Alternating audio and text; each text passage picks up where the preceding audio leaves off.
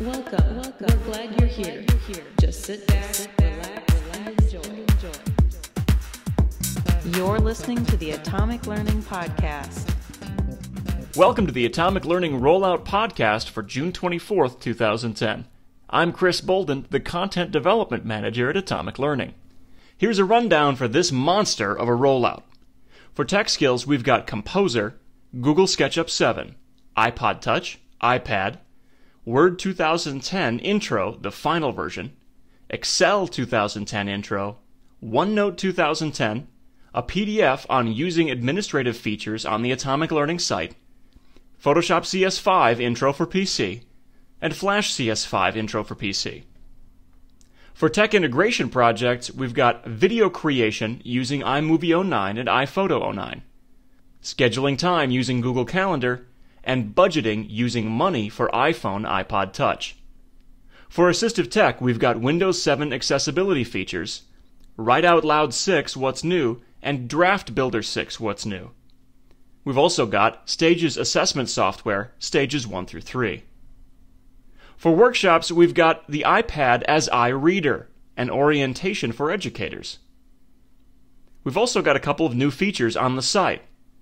iPod Touch iPhone and iPad have been added to the Platform drop-down menu, and two new items are in the Types drop-down, Social Networking, and Mobile Devices. Let's run down the tech skills stuff. KompoZer is a free WYSIWYG web authoring application that used to be called Nvu. If you hear anybody asking for Nvu, this is the one they should check out because Nvu is over and done with, and KompoZer is its successor. Google SketchUp 7 is a refresh of our series on the popular free 3D modeling program. We've got a couple of highly anticipated tech skills series the iPod Touch by our very own Andrea Carlson and iPad. These intro series consist of a short list of the basic functions of the devices, such as how to connect to a Wi Fi network and viewing usage stats and other info, as well as how to type on the devices. Watch for an extended series for both the iPod Touch and iPad later this year, highlighting more functions and new features of the iOS 4, the brand new OS for iPhone, iPod Touch, and iPad that was announced this month. Next, we've got Intro to Word 2010. Our original series was created using the beta version of Office 2010 and had a few things that were changed in the final retail version. Beth went back and revised the series to match the final version, and now we've got it totally done with two new sections. Adding to our training on Office 2010 applications, Beth also knocked out Excel 2010 Intro. Keep an eye out later this summer for PowerPoint 2010 to round out the Office trifecta that makes up some of our most watched series. We've also got a new series on OneNote 2010, Office 2010's tool for creating, managing, and sharing information. There's also some new content for training on the Atomic Learning site itself. A new PDF has been added to Section D of the Custom Content series, featuring tips on how to upload video, audio, and interactive files. Another highly anticipated series is Matt Lenz's Photoshop CS5 intro for PC.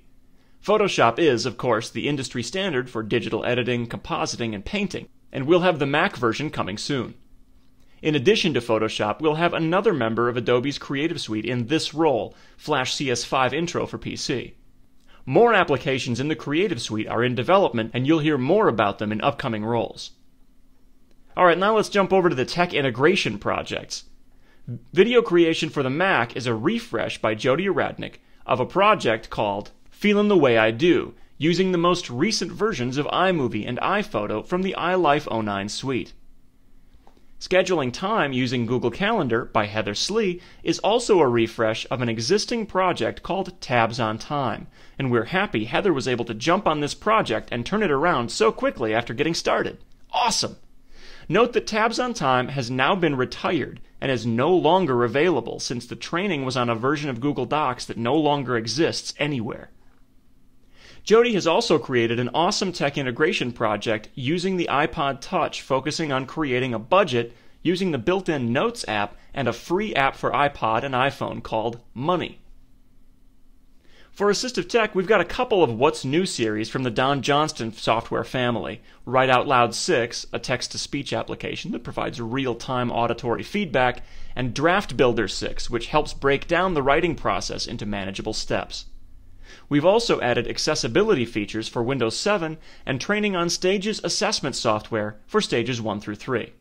We've added a great new iPad workshop by Jim Norwood which focuses on some how to's and practical considerations for teachers and students thinking about using the iPad as an e reader or digital textbook.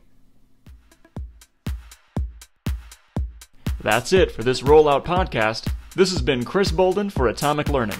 Until next time, stay groovy, folks.